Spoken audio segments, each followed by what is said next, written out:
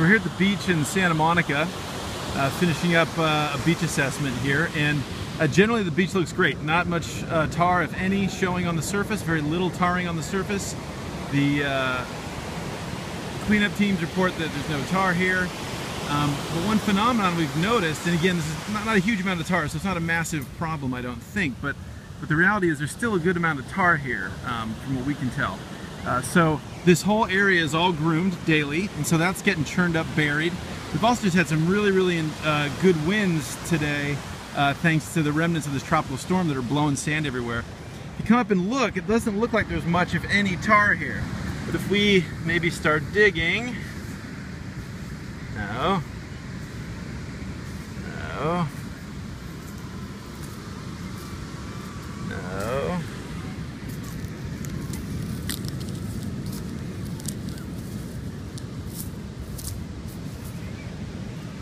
Ha. There we go. So it was about, I don't know, 10 seconds, 15 seconds.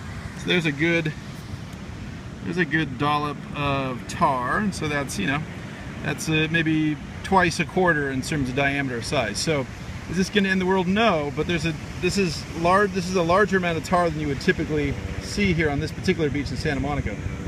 So it's clear there's a good amount of tar out um, amongst these beaches that are just being buried by the normal processes, the normal human processes, but also the geomorphological processes that move sand around beaches.